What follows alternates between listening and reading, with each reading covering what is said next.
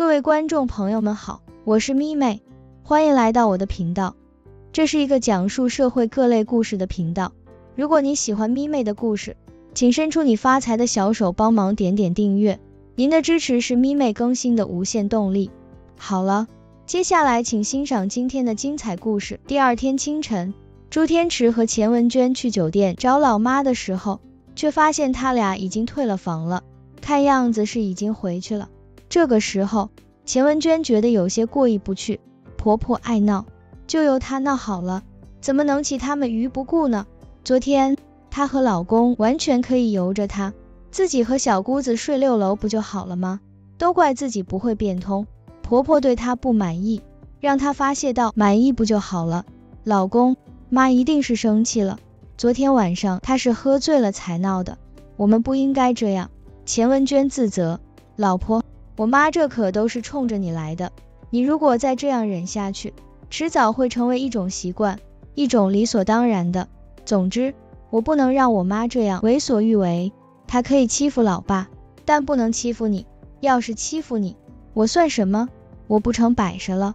朱天池笑笑，你最好就当自己是睁眼瞎、顺耳聋，反正我以后就当自己是这残疾人了。妈怎么说随便她，不过分就行了。钱文娟也笑，如果你再给我帮腔，恐怕这辈子我都没好日子过咯。怕什么？大不了搬出去，他们过他们的神仙日子，我们过我们的小资生活，互不干涉，还更加亲密。我早就想这么过了。我有时候真是烦我妈和我妹，烦的不得了。朱天池抱怨，算了，老公，别说了，等会我们回去的时候。少说话，多做事，一定要让婆婆消气，懂吗？钱文娟再三的叮嘱着朱天池，她只是希望婆婆不要误解她。她除了不是广州人，没有正规的大学学历，可她是善良的。蜜月两天珠海之旅，算是不欢而散了。钱文娟尽管觉得自己很委屈，但她觉得自己既然愿意嫁给天池，就要做好受委屈的准备。当委屈过后，最好呢，能一笑泯恩仇。谁让自己爱天池呢？而且爱的那么强烈，那么透彻。只是可笑的是，照相机里有将近一百张照片，却没有一张是有他的。要知道，他和天池结婚，除了照了一张两人的结婚登记用的半身彩照外，连张结婚照都没有照过。人生一辈子最重要的就是结婚，却没能照张结婚照。这不免让钱文娟感到有些遗憾和无奈，就因为婆婆的阻挠，婆婆说又不是什么大户人家，还照什么结婚照，纯粹浪费钱财。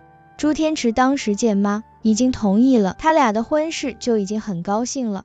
关于结婚照的照与不照，朱天池倒觉得这是次要的。他俩当时的心情是，只要他敬爱的妈妈大人能同意他们的婚事，就已经算是谢天谢地了。管他什么结婚照不结婚照的，朱天池和钱文娟到了中午十二点才到家门口，可是俩人一直站在家门口，不敢敲门，也不敢开门进去。俩人只是一直笑，一直笑。他俩以为暴风雨即将随着他俩的出现而来临。站了大约十分钟后，朱天池最终深呼吸了一口气，刚伸出手要敲响家门的时候，门却开了，是公公。他的手上提着两大袋垃圾，爸妈在吗？朱天池轻声的回道：在啊。公公奇怪的回答：没有什么不正常吗？朱天池继续问。钱文娟只在一旁笑：臭小子，你才不正常呢，做了什么亏心事，一直站在外面。里屋传来婆婆的声音，婆婆耳朵可真是尖，这么小声也能听到，以后坚决不能背着她说她什么。见婆婆搭腔，公公只是耸了耸肩膀，便去倒垃圾去了。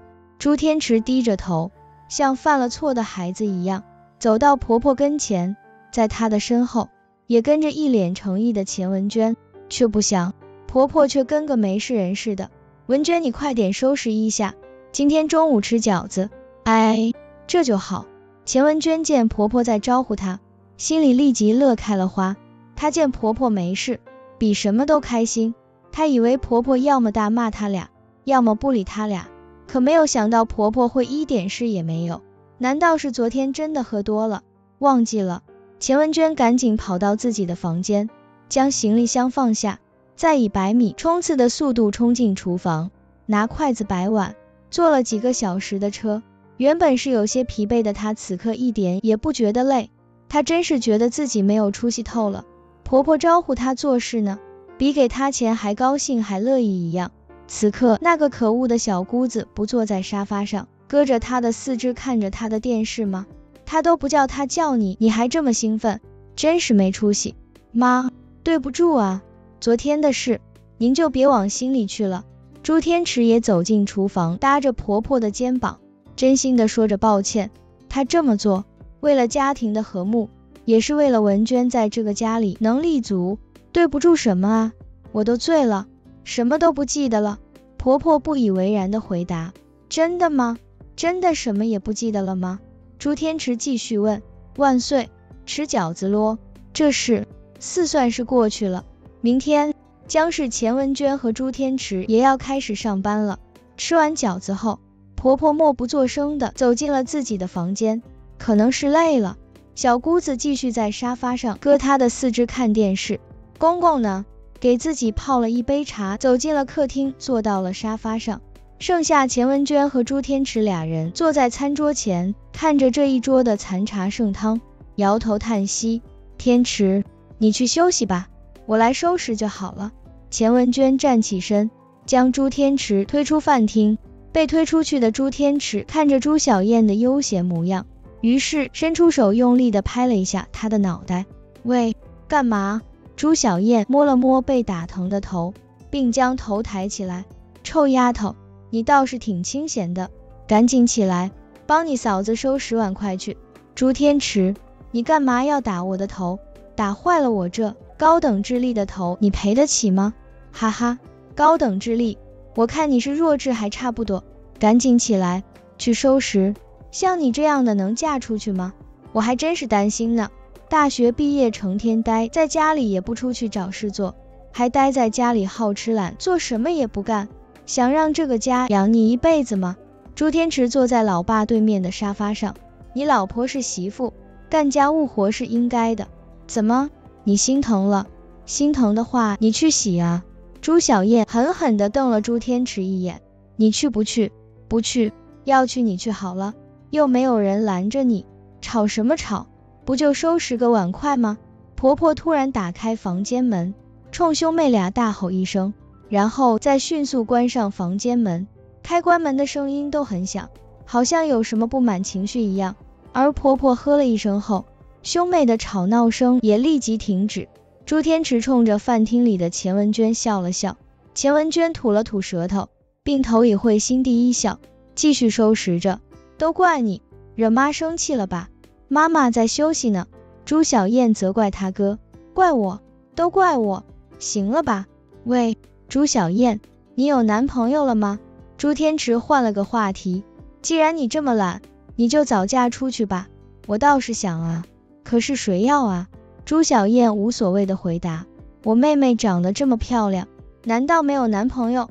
我不信。朱天池继续试探，并时不时给她戴高帽。不信拉倒。对了哥，你们单位有混得好的同事吗？给我介绍介绍。当然，不能像你一样是平头百姓。像我朱小燕这学历和这长相的，至少常找个副局长。如果是正的，更好不过。我可不想学你一样，惹妈妈生气。朱红艳说这话的时候，一点也不含糊，还真以为是个什么角色呢。局长倒是都结了，亿万富翁，你要吗？朱天池用鄙视的口吻问。可没想到朱小燕却当真了，真的，亿万富翁，那赶紧介绍给我呀。朱小燕眼睛睁得老大地，回头看着他哥，真挺感兴趣的模样。要真找个亿万富翁的话，我至少可以少奋斗一辈子，还真是不知道廉耻呢。看来他是打算嫁有钱人了，真是跟妈一样，浑身铜锈，做你的美梦吧。朱天池拿上沙发上的靠垫，就朝朱小燕的头上扔去。喂，我说了不要破坏我的头，我的头可是很珍贵的，你在欺负我，我告诉妈去。朱小燕将枕头再回扔过去，真是长不大呀。你们慢慢闹，我出去溜达溜达。朱文田看着爱闹的这对活宝，笑着站起身来：“爸，你越长越帅了，小心被年轻美眉给拐跑了哟。”朱小燕大声的逗着他爸，他是想故意让房间里的老妈也听见，越来越没正形了。朱文田乐的眼睛都笑眯了，哼着乐曲《分飞燕》就出门去了。等一下，老朱，我也跟你一起出去。这个家吵都吵死了。可能是朱小燕的话起了作用吧。周玉和赶紧从房间里跑了出来，跟在老公的后面走出了家门。朱小燕和朱天池都相视大笑。四十岁的周玉和向来很紧张，六十岁的朱文田，要知道才出门两天，周玉和不知道给朱文田打了多少次电话，尤其是晚上，朱小燕的耳朵都起茧子了。看着白发苍苍的老爸和身姿。交好一头黄卷发的老妈俩人的背影从眼前消失，朱小燕笑着感叹的说：“还真是典型的老夫少妻哟，羡慕死人了呢。我一要向妈妈学习，找个年纪大的男人来结婚。你看老妈多幸福，掌握着家庭大权不说，老爸都快被老妈给迷死了。”哈哈，说完将头用手撑起，眼睛继续看着他哥朱天池。哥，回到正题了。如果有有钱的朋友，四十岁以下，哦不，左右都行，介绍给我认识吧。我可不想像某些女人，成了男人的奴隶不说，过不了二三年就成了黄脸婆，整天为了钱奔波劳碌的。人生短暂，要知道享受才是。像我这样要学历有学历，要长相有长相的女子不利用的话，那叫一个资源浪费，懂吗？朱小燕说：“这么长一串都不用打草稿，好像是一直在预谋着的。”小样，以为自己是章子怡咩？朱天池心里骂道：“好，我帮你打听打听，不过四十岁肯定不行，妈都才四呢，到时候不好称呼啊，而且多难为情啊，哪有女婿女丈母娘还大的，是吧？”朱天池表面一本正经，其实内心正骂着他呢。什么时候？臭丫头学成这副德行了，也是优，不过没关系的。妈说了，有前途就行，其他都是次要的。朱小燕无所谓的样子，让朱天池更觉得恶心。那好，这几天你就待在家里，我明天上班就开始给你打听，到时候说好见面的话，你就得出来，知道吗？朱天池一本正经的说。嗯呐，看来我不想结婚都不行了。我哥要急着将我扫地出门了啦！哎，哼，臭丫头，算你还有点自知之胆。哪有哪有，我可爱的妹妹就是当一辈子的老处女，我也不介意的啦。可是朱天池嘴上却说着相反的话。说到这里，钱文娟已经收拾好了，从厨房里走了出来。兄妹俩聊什么呢？聊得这么开心。钱文娟坐到公公先前的位置，笑着问了一句：“关你什么事？”我们聊天都不可以吗？小姑子则没好气的冲着他回答，这句话差点没把钱文娟给噎住，简直是个没大没小、不知好歹的臭丫头。钱文娟看了看四周，发现公婆都不在，这正好是个修理小姑子的机会，以后只要逮住这样的机会，就要修理修理她一下。你四岁了吧？我怎么觉得你说话跟十四岁没差别呢？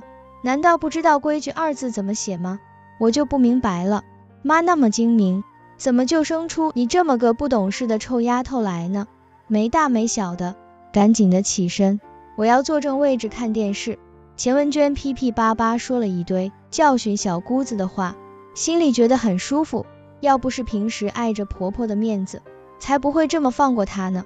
今天我定要出了这口恶气。钱文娟的这番话让朱小燕和朱天池俩人都目瞪口呆的。顿悟过后，朱天池笑了，朱小燕则气愤的从沙发上蹦了起来。你，钱文娟，我告诉妈去，你们，你们合起伙来欺负我。见朱天池在笑，朱小燕越加气愤，哪有哥让老婆欺负自己的妹妹的？去啊，像你这样的，一辈子也嫁不掉，长不大的臭丫头，都四岁了，还就知道在家里白吃白喝，还不懂规矩，你说说。这家里哪一样东西是你挣回来的？钱文娟毫不客气，内心很爽。你朱小燕说不出话来，她从来都没有想过钱文娟会趁爸妈不在的时候骂自己。臭丫头，从现在开始，如果你还继续畏畏的称呼我，我一定要让你好看。赶紧的，叫一声嫂子让我听听。居然敢这么不敬重嫂子，以后你要是嫁掉了，就不要再回娘家。钱文娟丝毫不客气，她只要一想到这几天她欺负自己，她就觉得很气愤，所以此刻她脸上的表情很愤怒也很严肃，与之前有着天壤之别的反差。我我干嘛要叫你嫂子？你根本大不了我几天。朱小燕从沙发上坐起衣来。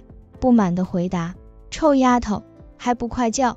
你这样的话会让别人以为我们家没有教养，懂吗？”朱天池也帮了一句：“喂，你们俩够了哟！”一向嚣张的朱小燕此刻还真有点怕钱文娟。平时她总是不多说什么，可是今天怎么变得这么可怕？叫不叫？钱文娟继续装着严肃，心里却乐开了花。以后再叫了，干嘛逼着我没事叫你嫂子？朱小燕狡辩：“好，暂且放过你。如果你以后再畏来畏去的称呼我，还有你再叫我钱文娟，小心我让妈知道你在外面做的坏事。”钱文娟其实根本不知道她做了什么坏事。臭丫头，我说怎么这么嚣张？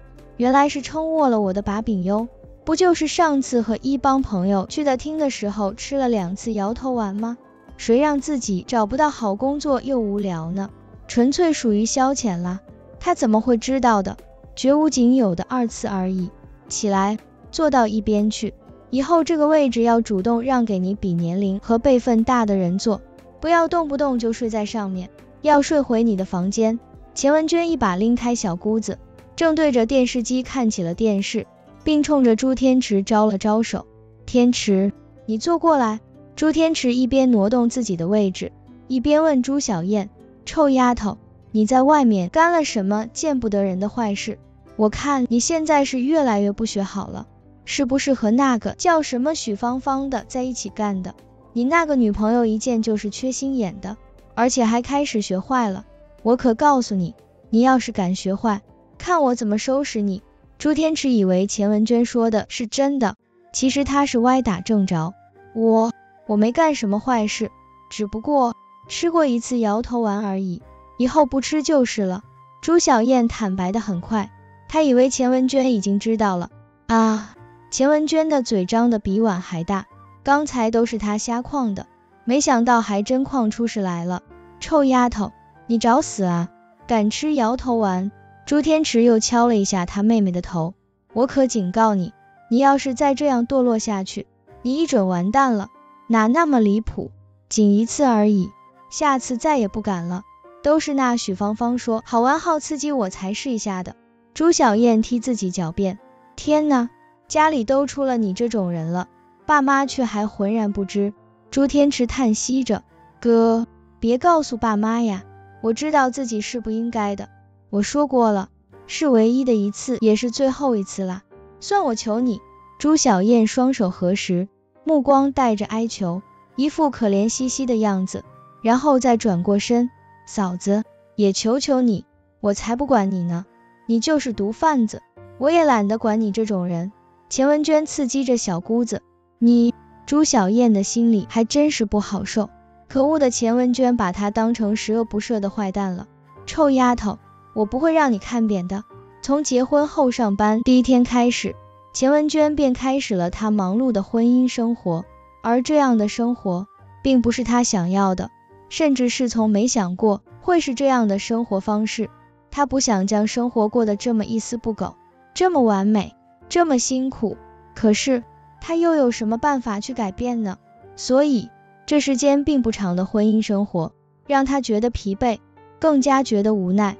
幸好老公对她不错，尽管帮助不了她什么，但他的知心和体贴让她觉得她的婚姻生活不是没有希望的。只是没有她想象中的那么如意罢了。她对自己说，一定要努力，努力，再努力，也奢望着有一天婆婆像爱小姑那样爱上自己。每天天不亮，她就去买菜，跟着婆婆学了一个星期的做早餐。当然，做家务钱文娟并不是强项，所以免不了要被婆婆责骂。钱文娟只是一直忍着。晚上回到家还得帮忙婆婆做晚饭，晚饭后洗碗、洗衣、拖地，便就顺理成章成了她一个人的事情了。婆婆晚上只负责炒菜，小姑子依然是我行我素，只吃不做。不过自上次后，在她的眼神里倒是多了几分畏惧和少有的安分。婆婆在责骂她的时候，她也不再起哄，只是用她那充满鄙视和得意的眼神看她几眼。天池呢，也依然朝九晚五的工作，清闲而稳定，收入也不低，偶尔晚上帮帮她的忙。却被婆婆总是以各种理由叫走，还有就是他们俩的工资从来都落入不了自己的口袋。钱文娟每天买菜的钱都是婆婆每天给的，婆婆不嫌麻烦，连钱文娟都嫌麻烦了，不能一给就一个星期的吗？连买什么菜都是按照婆婆的菜谱来买的，买完后回到公司还得在那个小的可怜的本子上记上数，不然得挨上贪污受贿的罪名了。钱文娟每次往本子上记菜钱，同事们都会笑话她，更替她感到不值当。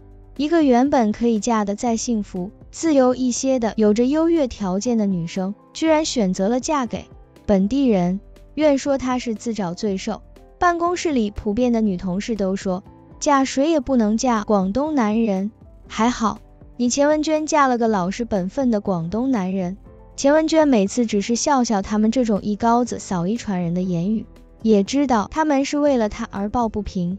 关于这个买菜做早餐以及回家后承担所有家务的这个过程，对于钱文娟来说，时刻都有可能被婆婆骂个半死的危险过程，而她总是咬着牙忍受着，心中充满着恐慌跟无奈。这种紧张的生活，钱文娟说自己迟早有一天要成为神经病。结婚后上班的第一个周末的早晨，钱文娟就被婆婆当着全家人的面给骂了，骂她比猪还蠢，比牛还笨。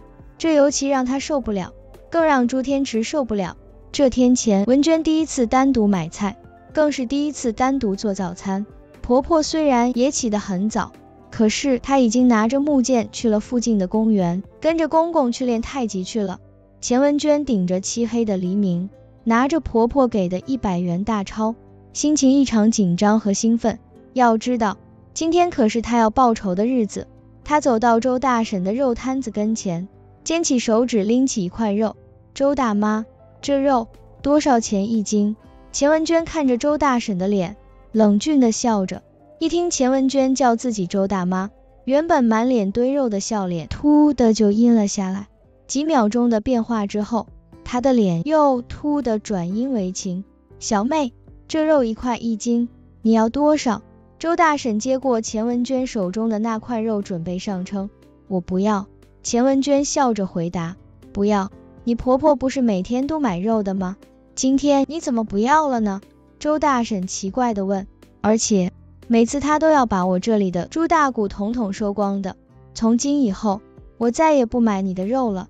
哈哈哈。钱文娟笑着走到另一家肉摊前，周大婶看着钱文娟，不知道说什么才好，看上去真的有些气愤呢。钱文娟在走到卖虾子的虾婶摊前，故意在他跟前晃了几晃。这个人更可恶，居然说他是保姆。买虾啊，周大姐家媳妇，今天要称多少虾呢？虾婶一脸的笑，哼，这回知道说我是周大姐媳妇了。当初拍马屁的时候怎么说我是保姆呢？你的狗眼还真是很离谱，一会是狗眼，一会又是人眼了。大叔，给我来十斤虾。晃了几晃直笑不回答的钱文娟，走到隔壁一家老大叔的虾摊前，并冲着大叔故意叫得很大声。这位虾婶眼睁睁的看着钱文娟从他的虾摊前擦身而过，一脸的不悦。钱文娟要的就是这样的效果。心里算是爽呆了，终于报了被辱之仇了。接下来还有好几家呢。尽管今天早晨天气比以往要冷，而且菜很沉很重，可是钱文娟觉得有一种前所未有的痛快和轻松。不是说对待敌人要像秋风扫落叶吗？她今天可是痛快的扫了一把，这种扫人的滋味还真是爽呆了呢。嘻嘻，钱文娟是笑眯眯的走到家的，可她没有想到。一进家门，婆婆对她就来了个进门接辣，直接开火。婆婆婆不是练太极去了吗？怎么这会会在家呢？钱文娟，你今天是不是没有买虾婶的虾？你是不是故意的？就因为上次她说你是保姆。婆婆扔下手中的剑，一脸的阴森，站在客厅中间。是的，我没买。钱文娟理直气壮的回答。哦，天呐，还真够理直气壮的。我可告诉你，钱文娟，这虾婶可是我几十年的老朋友了，而且还是老邻居。你这样做是破坏我在外面建立起来的友好关系和邻里关系，懂吗？你，你还真是行啊，知道利用手中的权力打击报复了啊！婆婆噼噼叭叭就是一顿，反正以后我是不会再买她的虾了，我很讨厌她。钱文娟犟了一下嘴，那你也是不是很讨厌我呢？啊啊，没有，我不敢讨厌，根本没有讨厌妈。我一直当您是我的亲妈，钱文娟见话给绕了进去，就给自己辩护，别给自己辩护了，你是什么想法，我清楚的很，我也是做媳妇的人过来的，我们是天生的敌人，如果你想跟我作对，还太嫩了，明天你要是再去买其他家的虾的话，你就不要再进这个家门了。婆婆大声的吃喝着，婆婆的话像一把刀子捅进了她的心窝。即使是敌人，那也是对内的敌人。对外，难道她还不如一个卖虾的大婶吗？拿来！婆婆伸出手。什么？钱文娟心冷的回答。小本子啊，我要检查，每周都这个时候检查一次。钱文娟拿出身上的小本子，递到婆婆手上。婆婆打开本子，阴森着脸在小本子上面搜索着今天的买菜记录。突然，她大声尖叫。钱文娟，你是怎么买菜的？这菜比我平时买的要贵好多，是不是你故意将菜写贵，然后好贪污？我靠，婆婆说话还真是不含糊，还真是不含蓄，还真是会诬赖好人呢。妈，您怎么说我是贪污？只是，只是今天市场上的菜是比以往要贵而已，可能是天气很冷的原因吧。钱文娟不想就此和婆婆发生冲突。尽管她在侮辱她的人格，但她只是想心平气和的解释这一切。别狡辩了，婆婆大声吃喝，不想再听她的解释。钱文娟见婆婆此刻真的发火，于是低下头去，真像是一个犯了错的孩子，不敢再说话。婆婆真的很霸道呢，不就一天吗？这菜的价格有这么大的波动吗？青菜比我昨天买时贵了一毛钱，肉也比昨天贵一块。虾也贵了二毛，婆婆一直比较着念，念完后抬起头看着她，她的眼睛就好像要杀死眼前的这位他所谓的敌人一样。靠啊，还真是会计出身，一毛两毛的都要计较，都这么仔细。像你这种人就不配结婚。你以为结婚那么好结？你以为家庭主妇就那么好当？你要知道，我们家只所有现在条件相当。除了是挣出来的，也是日常开支中省出来的，懂吗？还跟我狡辩，以为自己有多大能耐，在我面前，你少装好人，让你干什么你就干什么。从明天开始，菜谱上的价格和买主我一律给你标上，如果你再敢自作主张，看我怎么收拾你。婆婆拿着小本子往自己的房间走去，边走嘴里还边骂着，真是比猪还蠢，比牛还笨。却还想逞强，靠啊！这是他蠢造成的吗？明明就是菜涨价了，这一顿骂让钱文娟觉得好不冤枉。其实这时朱天池正站在房间里不敢出来，要是再出来帮老婆说上几句，相信这妈又不一定要闹成什么样子了。总之，大清早的，所有人都听到了周玉和骂人的声音，却就是没有人敢出来替他说句公道话。有些人是敢也会不出来说，那就是小姑子。这才五个人的家庭，复杂的让钱文娟不能呼吸。老婆，老婆，对不住了。见婆婆进了房间，朱天池赶紧从房间里猫了出来。老公，你睡吧，我没事，我要煮早餐呢。今天周末，多睡一会。钱文娟放下手中的菜，再把老公给推进房间里。别感冒了啦。穿这么少，朱天池被钱文娟推到被窝里，没结婚时，这可是这俩人都在睡大觉的好时光，哪会起这么早呢？朱天池一边打着哈欠，一边亲了一把钱文娟的额头。老婆，委屈你了，有机会我们一定搬出去单过。这才结婚几天，钱文娟已经听到老公说了无数次单过了。老公是真心想她好的，但是又别无他法，除了单过还能怎么样呢？可是单过。这不简直就是无稽之谈吗？除了忍受，还能做什么？钱文娟搬了一把凳子，坐在厨房的灶旁边，拿了一本小说，因为她此刻正在煮粥呢。煮粥很费时，更费看工，时不禁要搅动锅中的粥，不能久久的走开。所以钱文娟看着看着，居然睡着了。这早起的习惯练了一周了，却还是没有练成习惯。倒是越练越想睡了。钱文娟还做梦了，梦见自己和老公在天河区买了一套新房子，三室两厅的，可宽敞了。老公正拥抱着她睡懒觉呢。哎呀，不得了了，锅都要烧穿了！是婆婆的尖叫声。听到婆婆的尖叫，钱文娟就会莫名的紧张。她条件反射性地睁开眼睛，站起身来。看到婆婆正往灶上端煮粥的锅子，整个厨房是浓烟四起。再掀开锅里的一瞧，天，成炭了！看着一锅炭粥，钱文娟觉得挺好笑的，却又吓得站在一旁，手足无措。哎，怎么就睡着了呢？这这不是找骂呢吗？刚刚才骂过啊！婆婆用力的将锅子往灶台上一放，然后转过身来。用他那双充满冷峻和讨厌的眼神看着他的脸，妈，对不起，我实在是太困了，太困了就要睡着吗？看来你是到我家来享清福来了。我煮了几十年的早餐，从来都没有出现这样的情况。我可告诉你，你要是遇到你老公的奶奶，非家伙上身不可，简直是在浪费粮食。婆婆此刻很气愤的坐回到沙发上。钱文娟也跟着走了出来，看大家今天早晨吃什么，都是你做的好事，我看你真是不通人事。婆婆坐在沙发上，继续发飙，妈，我去外面买，我出钱。钱文娟自告奋勇，积极举动，其他她身上就值五块钱，每天早晨还是走路去的公司，还好公司有包中午饭，不然真不知道怎么办了。这个婆婆真是又凶又恶又霸道，要怎么办才好？钱文娟一边很自责自己煮的碳粥，一边又很苦恼，苦恼的甚至是伤心难过。看来你钱挺多啊，动不动就去外面买。婆婆立即就用轻视的口吻。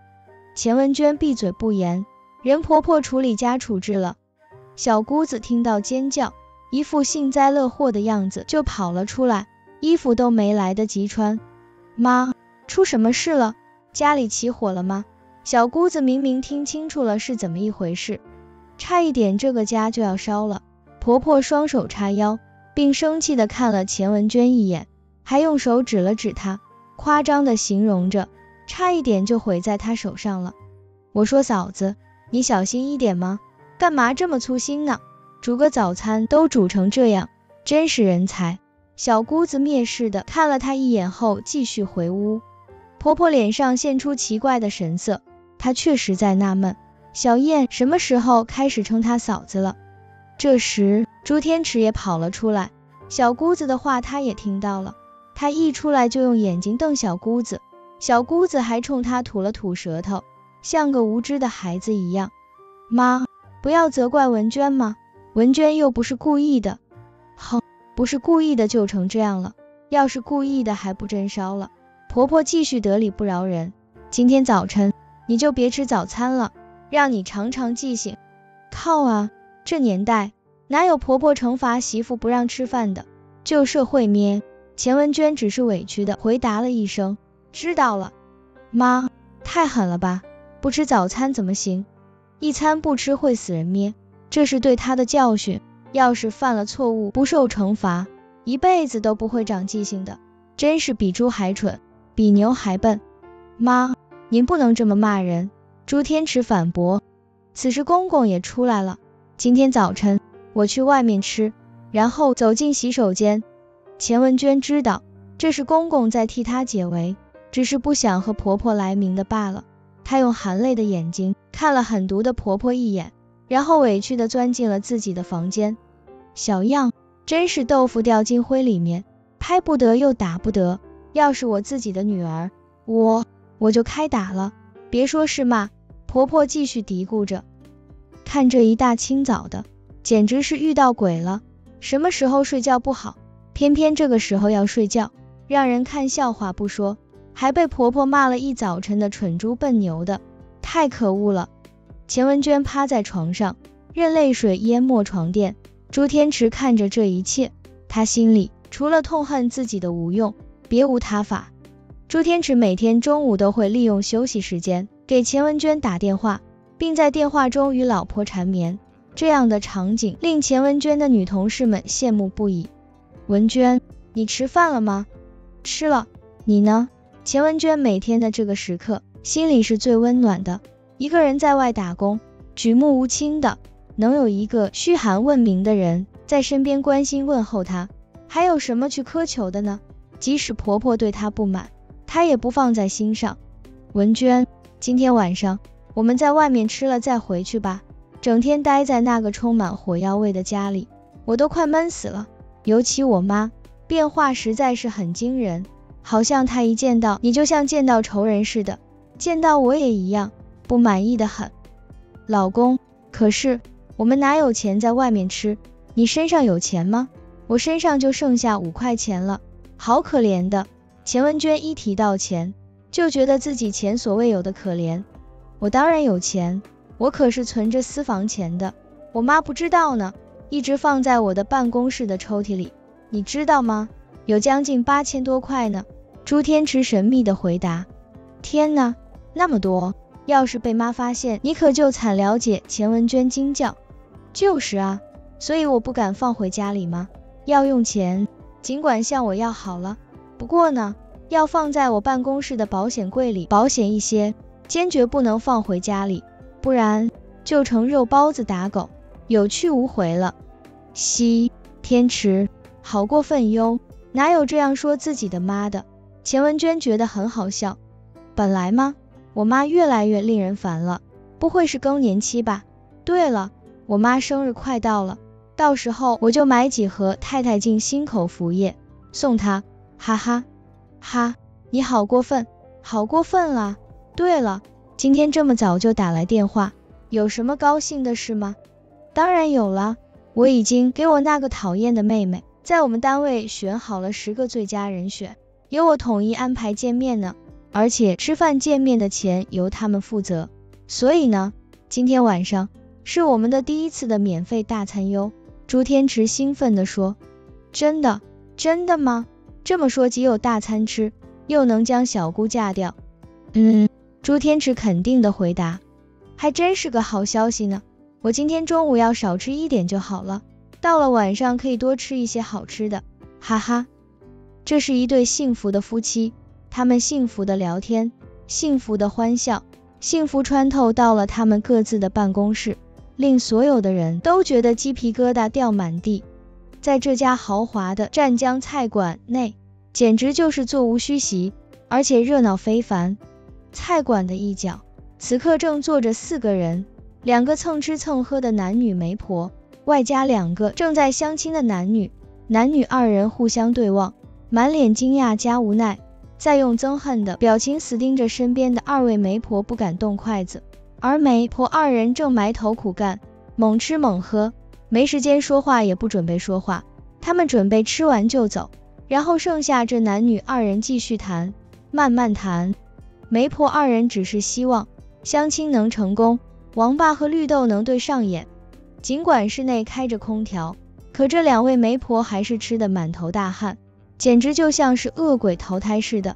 吃完后嘴巴一抹，双双站起身来，满嘴是油，满面笑容的说：“两位慢谈。”慢吃，我们先撤了。不要怕浪费时间，不要怕浪费金钱，要多谈，多了解，明白？于是便扬长而去，剩下满桌子的残茶剩饭。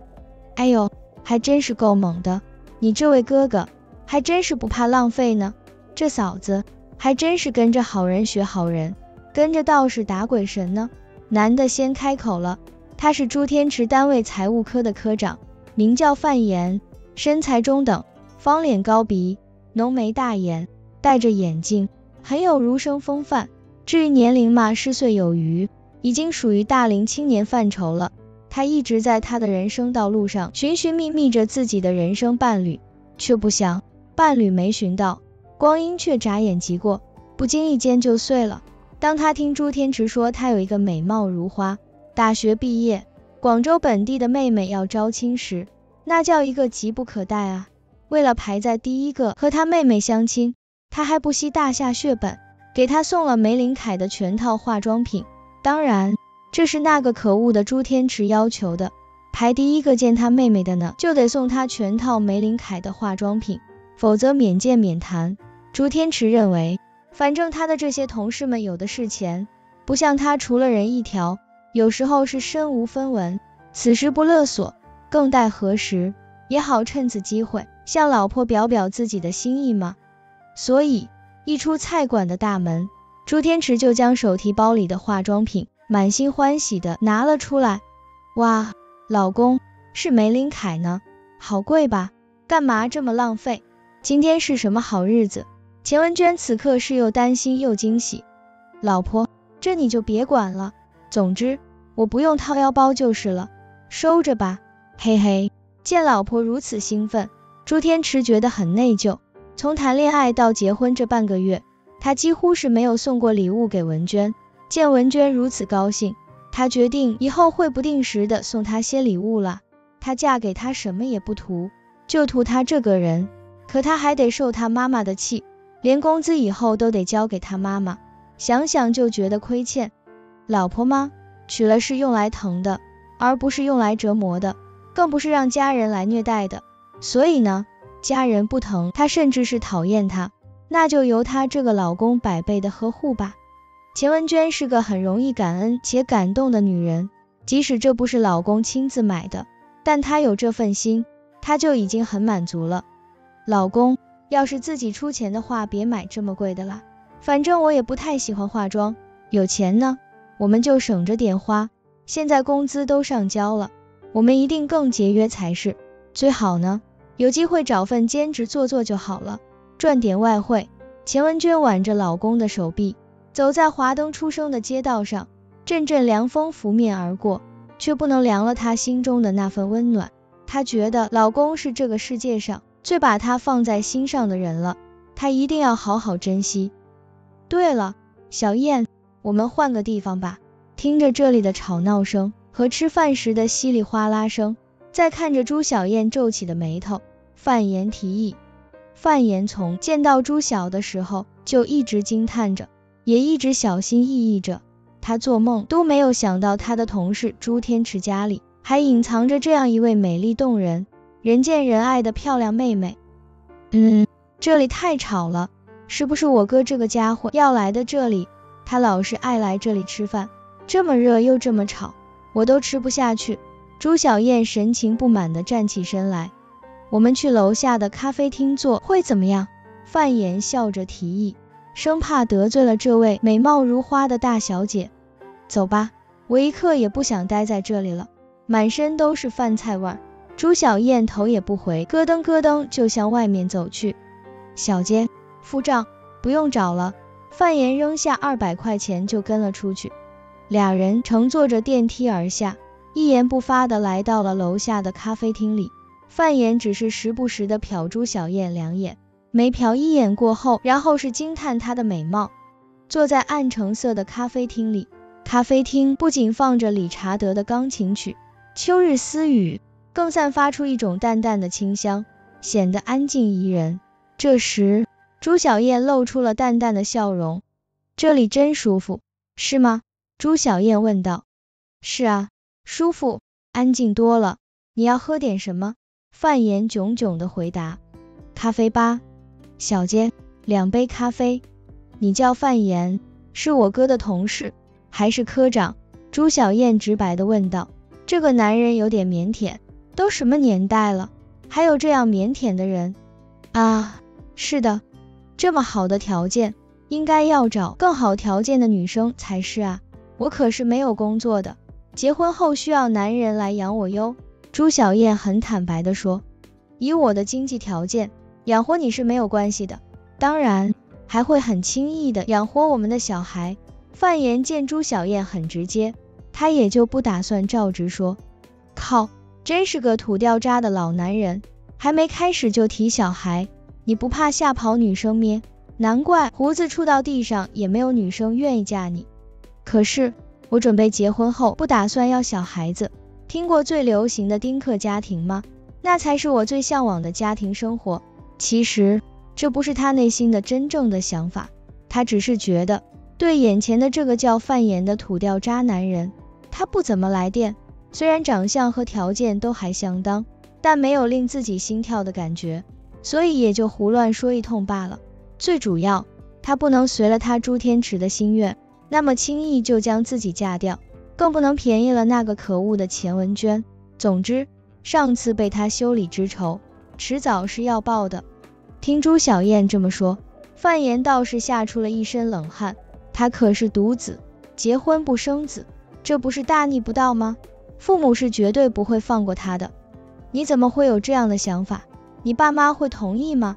范言看着这个美貌的、有奇怪想法的漂亮妹妹，我自己的人生。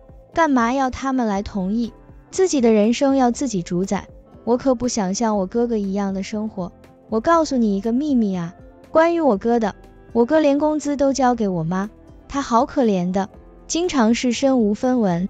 朱小燕就是想出朱天池的洋相，既然她那么想将她嫁掉，而且还利用他趁此机会蹭吃蹭喝，就是要报复他一下才觉得爽。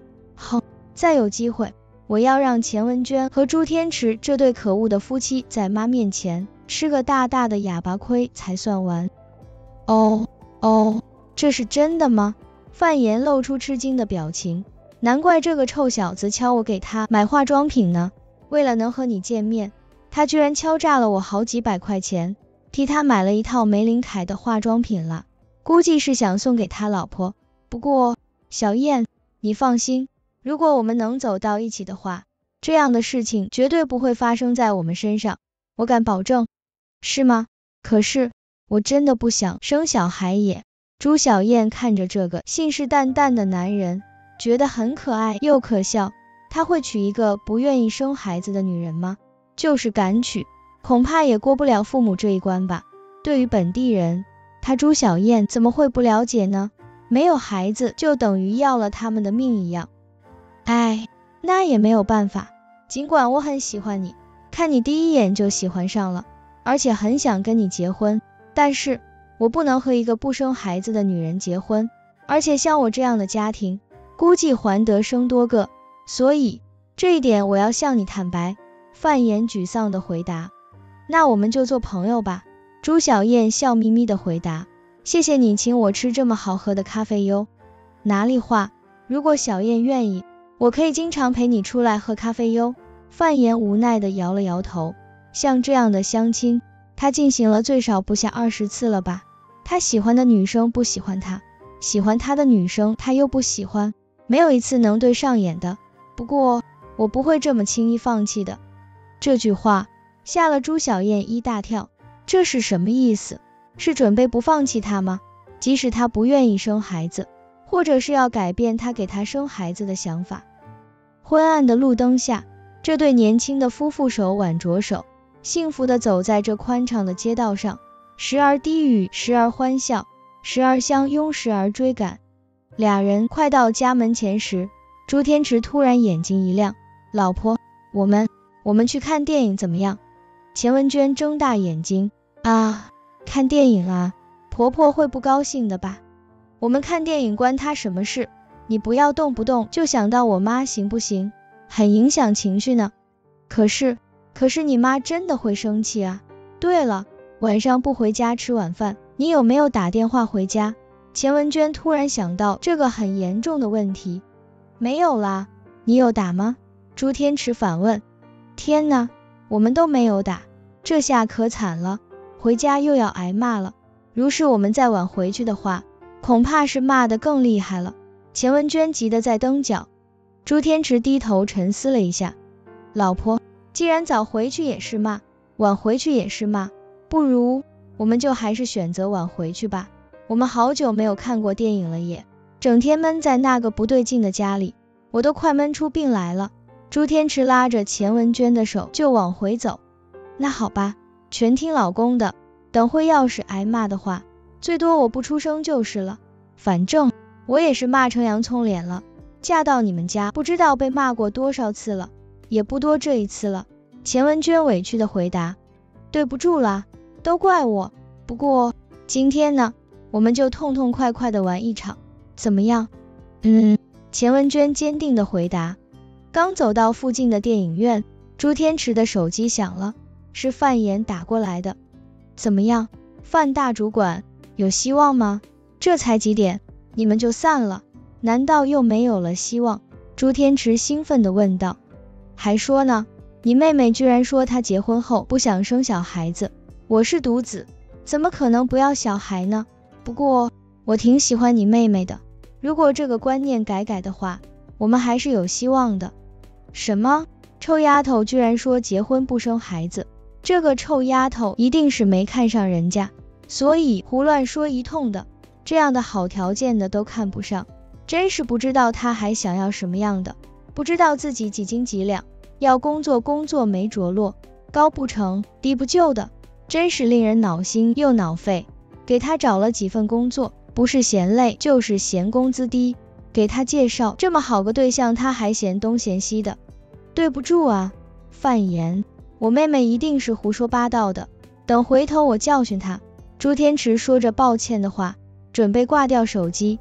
喂，臭小子，你真的像你妹妹说的那么惨吗？什么？朱天池奇怪的问。你妹妹说你们结婚后，你和你老婆的工资都。上交给了你妈妈呢，像你这样没有主心骨的小子，今后会有什么出息？好可怜哟，哈哈哈！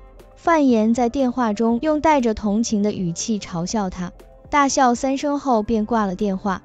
没用的家伙，居然还有女生愿意嫁给你，真是太不令人相信了。范言边挂电话边骂，他很不甘心呢。哎呦，臭丫头，还真是欠揍呢。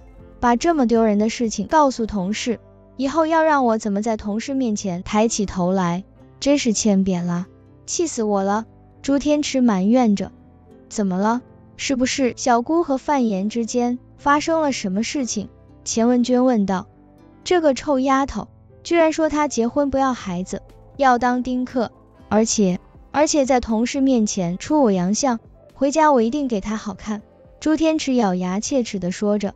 看来一定又是泡汤了，这个臭丫头肯定是没看上人家。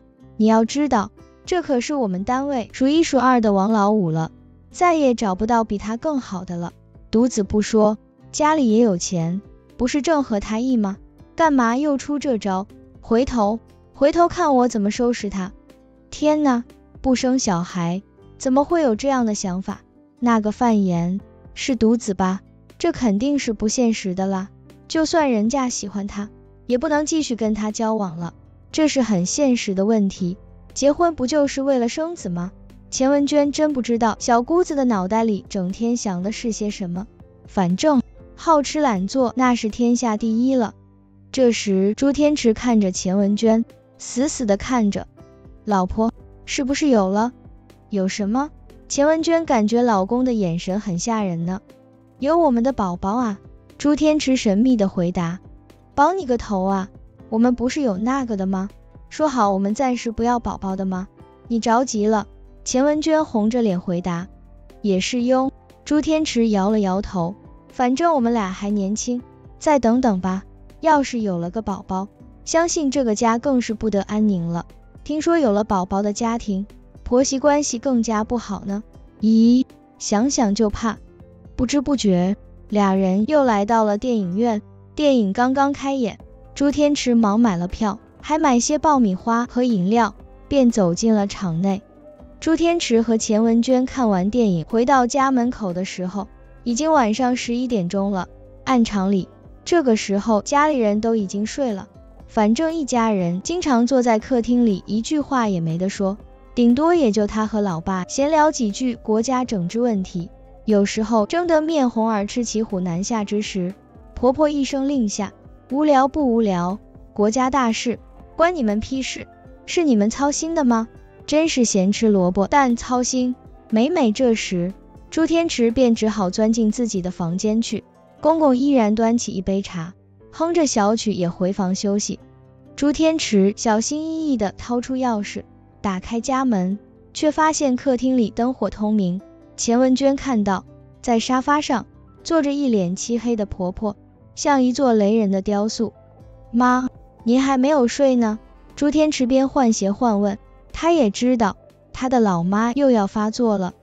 钱文娟也冲着婆婆笑笑，笑得很勉强，也不敢说话，更不知道说什么好。回来了，婆婆脱声夜气的问道，这样说话的腔调。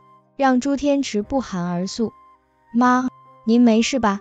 不要吓我。朱天池紧紧地牵着老婆的手，准备冲进自己的房间。可是刚到房门口，却被婆婆叫住了。给我站住！臭小子，这么晚回来干什么去了？婆婆大声地吼了起来。妈，有同事请客，吃完饭就顺便看了一场电影。回到家就这么晚了，对不起啊。事先没给家里打电话，不是故意的，只是忘记了。走，文娟，没事了，睡觉。朱天池想就此完事，该解释的已经解释了，老妈还想怎么样呢？站住，钱文娟，我说你长没长脑子？你老公忘记打电话了，你也忘记了？妈，我们我们确实忘记了，不过不过下次再也不会忘记了。一定先打电话告诉您知道。钱文娟紧张的解释着。哼，下次如果再有下次，你们就不要回来了。我做那么多菜，我容易吗？我就不辛苦吗？我见你们上班辛苦，还特意做了你们喜欢吃的菜，可是你们连个招呼都不打，剩下这么多的菜，可怎么办？婆婆看上去像恨到了极点，似乎这剩下的菜就会成了垃圾一样。剩下的菜可以放到冰箱里，明天再吃吗？朱天池反驳了一句：“臭小子，你说的轻巧，冰了的菜和不冰的菜味道是完全不同的。煮熟的菜冰过后就会没有新鲜的味道。你没见过老妈，我这几十年都在每天做新鲜的食物给你们吃吗？哪一天家里有过如此多的剩菜呢？都怪你，钱文娟。自从你来到这个家之后。”这整个家都变了，连气氛都变了。真不知道你当初嫁给我儿子是图什么？婆婆开始将苗头指向钱文娟。钱文娟在走进这个家门的时候，已经做好了准备了。无论婆婆怎么骂，她就是不回口。每次你都会装作一副可怜相来讨好家里的人，好像我就是那个十恶不赦的容嬷嬷一样。提到《还珠格格》里的容嬷嬷。钱文娟倒真觉得和婆婆性格上有几分相似，尽管没有那么狠毒。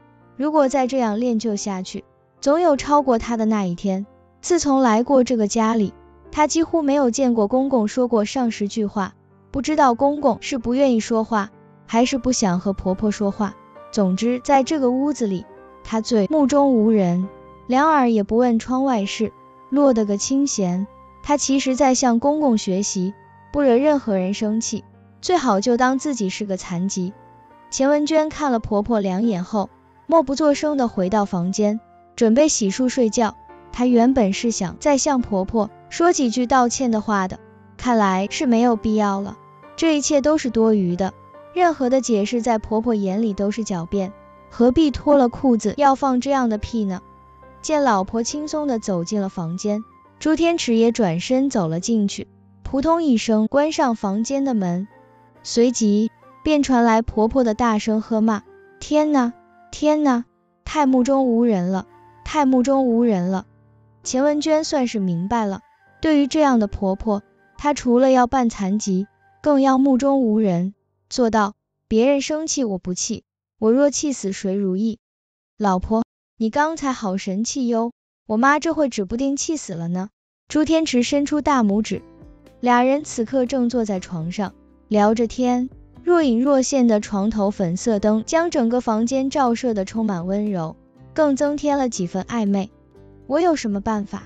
解释又不起作用，不解释又觉得委屈，只好躲避了。要闹，让他闹好了，我们又没有做错什么。年轻人要看看电影很正常啊，怎么就那么喜欢计较呢？还动不动就骂我，看来我真是不应该嫁给你啊！天池，钱文娟感叹着。说什么呢，老婆？朱天池揽过钱文娟的肩膀，他的肩膀总是这样瘦弱。天池，你妈妈真是不喜欢我到了极点了，对我是一百个不满意。你要是娶个她喜欢的姑娘，最少是个本地姑娘的话，你妈妈或许不会这样的。估计你们俩玩到夜不归宿，她也不会这样生气。你要知道，她现在心里对我有气呢，总以为是我勾引了你。总以为我是配不上你的，总以为我是惦记你是广州本地人。总之，这一切的一切都是他故意的，我能看出来。而且，你妈妈根本不是什么坏心眼的女人，要是坏心眼的女人，早就是阴招了，也不会这么大声冲着我嚷嚷，是吧？钱文娟分析着这一切。是啊，是啊，我妈以前虽然有些霸道，可是远近闻名的大好人呢。性格开朗，而且爱打扮，就是爱斤斤计较。女人吗？这都是通病，根本不算什么大的问题。可是这段时间反常的很，还有那个臭丫头也是，跟老妈一个鼻孔出气呢，很可恶。朱天池尽管也清楚老妈的变化，可是已经成了一家人了，为可还要这样对待一个弱女子呢。钱文娟靠在朱天池的胸膛前。想到了她和天池恋爱时遭到婆婆反对时的情形，当初的一幕幕就像放电影一样展现在她的眼前。二零零一年三月二十八日，朱天池和同事一起到钱文娟所在的公司查账，当时负责招待的就是钱文娟，这样俩人就相互吸引了。那个时候，朱天池大学毕业后刚到地方税务上班，老公那个时候。你真的好老实，嘻嘻。想到彼此认识的第一天，钱文娟不免笑了。那个时候的老公，连说话都会脸红。不过，正是这一点，才引起了她的注意。二零零二年的元宵节，钱文娟以朋友的身份去朱天池的家里玩。那个时候，婆婆虽然有所警惕，但是她对她还是很热情的，还问了关于她家庭的一些情况。还说要给她介绍男朋友呢，说是一个湖南的小伙子，在一家公司里做经理，人年轻有为，还打算在广州买房呢。老公，你妈那个时候似乎已经有所警觉了，所以要急着给我介绍朋友，生怕我会成为她的儿媳妇。她万万没有想到，我却真的就是她的儿媳妇，对我不满也是情有可原的。钱文娟感慨地说。二零零二年的中秋节，公司吃完团圆饭后，朱天池带着她再次走进了他家，并向他的家人宣布俩人的恋情时，婆婆当时气得连话都说不出来了，接连给了朱天池两记响亮的耳光，还脸红脖子粗地指着钱文娟的脸破口大骂：“滚，给我赶紧滚！你就是个狐狸精！我儿子除了广州姑娘，外地的一律不找。”你也休想进这个家门半步，老公，当时我真的恨不得找个地缝给钻了进去，居然骂我是狐狸精，我像狐狸精吗？钱文娟抬起头望了望老公的脸，那天给她的感觉就如同是世界末日一样，此时想起还令自己毛骨悚然。紧接着，朱天池就开始抗拒，他开始十天半月的不回家，即使回家也是喝得乱醉如泥。然后就在家里大哭大闹，甚至还恐吓过家里的人，如果不同意他和文娟的婚事，就从白云山上跳下来殉情。也绝过时，还因为绝食住了医院。那段时间，家里被朱天池闹得鸡犬不宁，婆婆被逼无奈，才勉强答应了他和钱文娟的婚事。在儿子的生命和找外地姑娘结婚之间，生命比任何的一切都重要。也从此。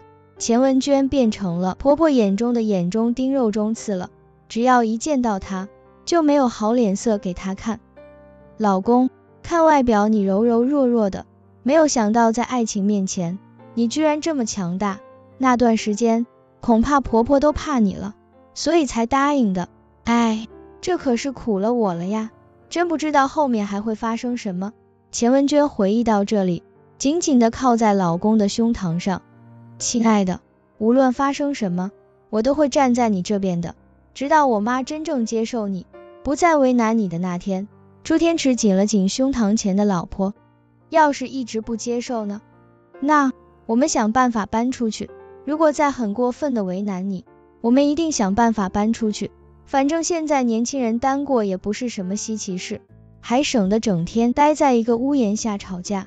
朱天池吻了一下老婆的额头，听着老公坚定的语气，钱文娟越加紧紧的抱住老公。臭丫头，你赶紧给我起来！朱天池第二天早晨起来的第一件事，就是去了朱小燕的房间，并将她揪醒。干嘛？姓朱的大清早的嚷嚷什么？被揪醒的朱小燕满脸的不悦，也大声的冲着他哥嚷：“你昨天跟范言说了什么啊？你是想让我把脸丢尽吗？让我怎么在同事面前抬起头来？还说什么你结婚后不会生孩子？你不生孩子，你变个女人做什么？不如做变性手术好了。”朱天池愤怒的责骂着：“喂，干什么？干什么对妹妹这么凶？”听见吵声的婆婆赶紧跑了出来：“妈。”您这位宝贝闺女可越来越不像话了呀，您得管管才行。朱天池指着床上的朱小燕，怎么了？她居然在我的同事面前揭我的老底，说我把工资全部交给老妈管，经常身上身无分文，搞得我很没面子。昨天同事打电话来，一个劲的嘲笑我。还有啊，您这位女儿说什么今后不生孩子，要当丁克。我好不容易把我们单位最好的同事介绍给她，她居然胡说八道一通，真是气死我了。朱天池委屈地倒着苦水，哈哈，原来就为这点事啊？你妹妹可能是看不上人家才胡说的吗？至于把钱交给妈管，并不是一件丢人的事情啊。你们所有的钱我一分都没有用，全部替你们存着呢。婆婆不以为然走出了房间，一边走出去还一边嘀咕。我的披风哪去了呢？臭丫头，暂时放过你。你要是再敢胡说八道，我对你就不客气了。真是懒得跟猪一样，这都八点了还睡，也不知道帮着嫂子去煮早餐。想让我煮早餐，门儿都没有。哼！朱小燕继续往床上一躺，被子一盖，并在被子里大叫：“妈，早晨别叫我吃早餐了，我还想睡会。”知道了。睡吧，哎呦，还真是猪一样的，睡吧睡吧，睡死你！朱天池咬牙切齿的指着床上的朱小燕骂：“记得下午和我们一起去相亲，下一位。”臭小子，你给我过来！周玉和突然一把拉住刚走出朱小燕房间的朱天池的手，脸上露出愤怒的表情，说话时的声音低沉而干脆：“干嘛？有什么事？”朱天池很纳闷。老妈直接将朱天池拉到他的房间里，指着桌上的全套玫琳凯：“这是你给你老婆买的吗？”朱天池笑笑：“是啊，怎么了？”就在这时，钱文娟也走了进来，因为她突然想到，早晨在用过老公送的化妆品后没有放好，怕被婆婆发现了，是回来放进包中的，却不想婆婆已经发现了。看来你还真是够疼老婆的呀。我都养了你二十多年了，从来没有见过你送我什么东西。这老婆才来几天，就开始花大本钱了，没出息的家伙！一见钱文娟不在厨房好好煮饭，冒冒失失的跑进来，婆婆心里的气越是不打一处来。妈，如果您喜欢，就拿去吧，反正我也不喜欢化妆。钱文娟是真心的，你也太小瞧我了吧？我就是再怎么没钱。也不会要你用下的东西，我不得不佩服你们这些湖南的妹子。不过你别想让我有好脸色对你。不过你还真行啊，居然让老公送最贵的化妆品给你。哼！婆婆又开始阴阳怪气的指责她，哼完就擦身离去。妈，文娟不是这个意思，您别这样，行不行？朱天池企图想替老婆说点什么，毕竟是老妈的问题。老公送老婆一点礼物，真不知道碍着老妈什么事了，她要在这里横挑鼻子竖挑眼的。钱文娟一愣一愣的，不知道怎样婆婆才对自己满意。臭丫头，还像个傻瓜待在这里做什么？是不是又想把我家点燃？婆婆突然转身冲着她吼道。钱文娟只得掉头跑进厨房。我妈真是越来越离谱了，看来不想办法搬出去，这文娟的日子恐怕也是越来越难过了。我也过得很不舒服。朱天池狠狠地抓了一把自己的头发，倒是钱文娟婆婆这样，她似乎都没有感觉了。下午四点钟，朱天池带着钱文娟和小姑子盛装出行，小姑子还是刻意的打扮了一番，她穿了一件淡黄色的小棉袄，露出她雪白的颈项，颈项上套了一条绿色丝巾，修长的大腿上穿了一件浅蓝色牛仔裤，看起来很阳光，很青春。婆婆当时要跟着去，小姑阻拦，没去成。她知道老妈去了，又要问东问西，问长问短了。反正闲着也是闲着，让她见识一下花样美男，对她也没有什么损失。不来电的话呢，就赶紧撤。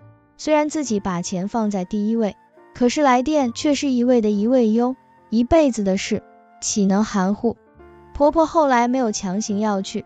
当她听儿子说是他们单位的一个同事时，自然也是很放心。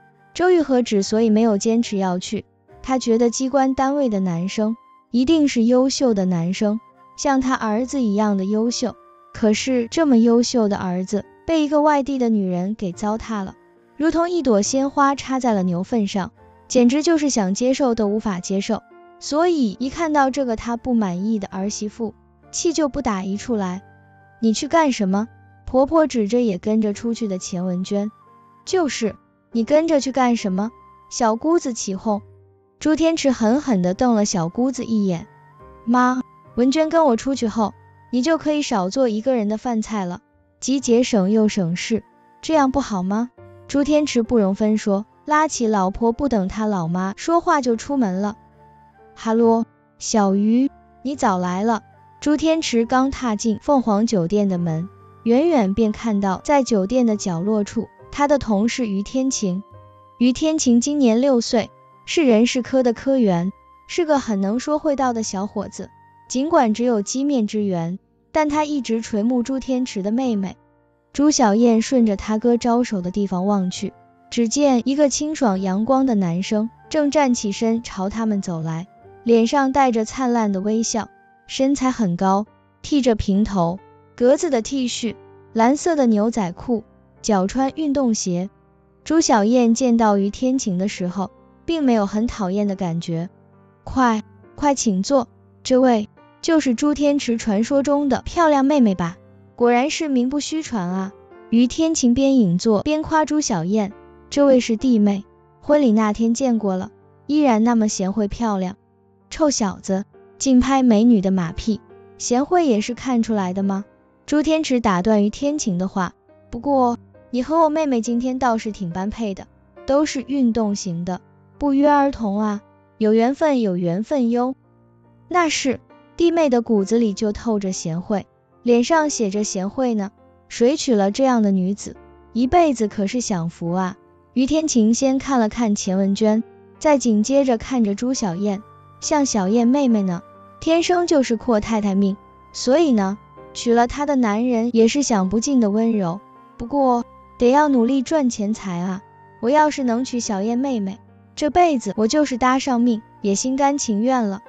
嘿，这臭小子眼光很独到吗？虽然年纪轻轻的，只是把朱小燕说的太轻了一些，太夸张了吧？朱小燕面不改色，却心花怒放。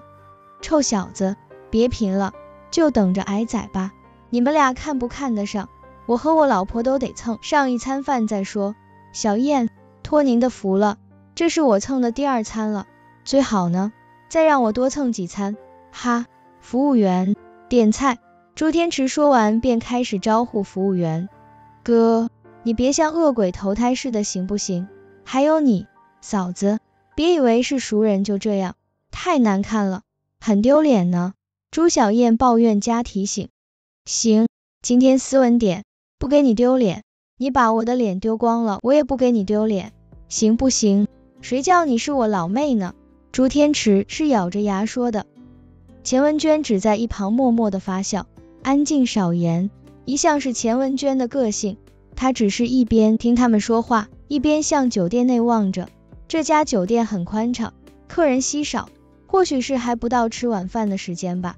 整个酒店的装修以红色为主，每张餐桌上都是红色桌布。以上也是红色套子，连地面都是红色的瓷砖，有一种很喜气的感觉。而且服务生们也都穿着玫瑰红的工作服呢。钱文娟和朱天池俩人吃完饭后，去了附近的书吧，剩下于天晴和朱小燕俩人相互对视。于天晴确实是嘴有一张啊，天文地理他是无所不知，他一直滔滔不绝、口若悬河的和朱天池俩人聊着各种话题。把这两个女人像略干菜一样的略在一边，朱天池是故意这么做的，他是想让他妹妹知道，这个男人不仅长得帅，赚得多，家庭条件好，而且见识广，能说会道，这样的男人还不喜欢喜欢谁去呢？小燕，你一向喜欢什么样的男生？朱天池一走，于天晴就回到了正题上，也是行次见面的目的，你会喜欢上我这样的吗？好直接，不过这个男生确实挺招女孩子喜欢的，即使没有心跳的感觉，却也并不讨厌。我并不讨厌你啊，我们可以谈谈，多了解了解吗？是吧？朱小燕也大方的回答，也不扭捏作态，这让于天晴倒是觉得很意外。总以为像这样漂亮的女生，总会故作骄傲，扭扭捏捏，而她却显得异常的大方，令人喜爱。小燕，我可是看着你长大的，对于你，我算是很了解的呀。至于我吗？你哥哥很了解啦。如果有什么质疑的地方，可以找你哥打听打听的哟。于天晴总是盯着他的脸看，一刻也不离开，因为朱小燕的脸确实长得很精致。靠，哪有这样看人的？胆子够大的，这要在以往，一揍一个准。服务员，给我一杯橙汁。朱小燕被看的口真渴，靠，哪有这样看人的？胆子够大的，这要在以往，一揍一个准。服务员，给我一杯橙汁。朱小燕被看的口真渴，这是她喝的第三杯了。片刻后，当服务员端着托盘将橙汁送到时，朱小燕却一个起身要去厕所，正好托盘上的橙汁被撞倒在了她的衣服上。喂，服务员。干嘛这么不小心？于天晴见状，大声斥喝：“对不起，对不起！”服务生是个男生，他此刻正低着头，拿着手上的餐巾，不紧张的擦拭着他衣服上的橙汁。小心点吗？朱小燕抱怨着。算了算了，去忙吧。对不起了，小姐。服务生抬起头，正是朱小燕。小燕，服务生脱口而出。天呐！天呐，天呐，是赵子俊，是你吗？赵子俊，朱小燕连续说了三个天呐，眼神充满兴奋。是我，赵子俊。赵子俊用不敢相信的眼神看着朱小燕，用肯定的语气回答：小燕，你好啊。赵子俊伸出他的手，朱小燕也伸出手，赵子俊的手紧紧的握住朱小燕的手，久久没有分开。俩人都面带紧张的笑容和不敢相信的眼神看着对方。你怎么会在这里？朱小燕激动的问道。小燕，先告诉我你的手机号码，等我下了班我再找你。现在我要先去忙哟。赵子俊下意识的松开了自己的手，掏出口袋里的手机，准备记录。记录完后，说了一声拜拜便离去了。朱小燕不敢相信。曾经班上的那个大才子、大帅哥、叱咤风云的足球小子，居然会在这里上班哟？有没搞错？此刻的于天晴坐在一边，看着发生的一切，觉得很不爽。看着朱小燕兴奋的表情时，心里更不悦。小燕，他是你什么人？于天晴冷冷的问道。朱小燕这时才意识到，他是来相亲的，这位对象正坐在他的跟前呢。哦，只是一个同学而已，没什么啦。喝吧喝吧，喝完我也要回去了。朱小燕三两口就吸干了杯中的橙汁，这样的转变让于天晴有些不能接受，也不太适应。要回去了吗？于天晴问道。嗯，回去了。我觉得有点冷。朱小燕敷衍着回答。真是可惜了，我还买了两张歌剧院的票呢。于天晴拿出两张票。哦，不好意思了。朱小燕并不为之心动，只是说了一句抱歉的话。是因为你的这位同学吗？有毛病啊！打破砂锅问到底。朱小燕反感起来。看来知识越丰富的人越话多，还喜欢管闲事。才见一面而已，就要管着他了。切，那我送你吧。不用了，这里离我家不远，我自己走着回去就是了，也就几分钟的事。朱小燕已经很厌烦了，要是遇到色狼可怎么办？我还是不放心。于天晴坚持，那随你好了。朱小燕不再坚持。朱小燕一路无语，她的脑海里全是刚才见到的赵子俊的情形。至于于天晴说了些什么，根本不知道。朱小燕看着于天晴离去了很远后，再转身折了回去。她要去等赵子俊下班，她似有好多话对他说。各位听完后记得订阅小铃铛。后面的故事更精彩哦。